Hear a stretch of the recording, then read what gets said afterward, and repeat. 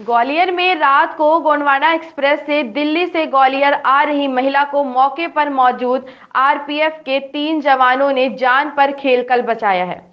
महिला चलती ट्रेन से उतरने की कोशिश करते समय प्लेटफॉर्म व कोच के नीचे लटक गई थी। महिला को समय रहते चेन पुलिंग कर उसे सुरक्षित बचा लिया। हालाँकि इस घटना में महिला के हाथ पैर में हल्की चोट आई है। जान बचाने के बाद महिला ने तीनों जवानों को दुआएँ देते हुए ग्वालियर स्थित घर के लिए रवाना हो गई। जानकारी के अनुसार मेहगांव निवासी सुनीता पत्नी प्रेम नारायण शर्मा उम्र बावन वर्ष बीती रात निजामुद्दीन से ग्वालियर आने के लिए गोंडवाना एक्सप्रेस से स्लीपर कोच एस टू की सीट नंबर 60 पर सवार हुई थी।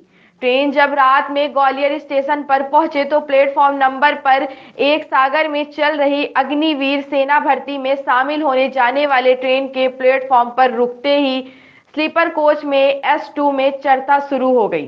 इसी बीच ट्रेन दो मिनट रुकने के बाद झांसी के लिए रवाना होने लगी। चलती ट्रेन से उतरने समय यात्री सुनीता शर्मा लगेज के साथ पायदान से लटक कर प्लेटफॉर्म व कोच के बीच लटक गई। महिला को लटका देख मौके पर मौजूद आरपीएफ सहायक उप निरीक्षक दिवेश शर्मा, प्रधान आरक्षक रविंद्र सिंह व आरक्षक राकेश कुमार ने अपनी जान की परवाह नहीं कर चेन पुलिंग कर ट्रेन को रोकने के बाद महिला को सुरक्षित बचा लिया। प्लेटफॉर्म पर मौजूद सैकड़ों यात्रियों ने आरपीएफ स्क्वाड की प्रशंसा कर बुज़ुर्ग यात्रियों ने पीठ थपथपाई। मैं गाड़ी से उतर रहा था हाँ।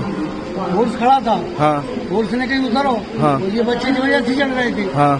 फोर्स ने पूरी वजह से करी बच्चा बहुत थे। हाँ। ये नीचे गिर गई। नीचे गिर गए ठीक है। फोर्स वाले गिर गए बिल्कुल लग गई। हाँ। वो भी उसके नीचे ट्रेन के नीचे उसमें आ गए थे। है। हाँ हम उसमें हम पत्नी होने के वहीं रह गए ठीक ठीक। तो मतलब ये कुल मिला के यही है कि ये आ गए फोर्स वाले भी नीचे आ गए, फिर इन्होंने ये जो भाई साहब खड़े हुए ये भी आरपीएफ में, एएसआई है, और ये सब खड़े हुए हैं लोग। इन्होंने सबकी मदद करते हुए जो है, इनको बचाया है।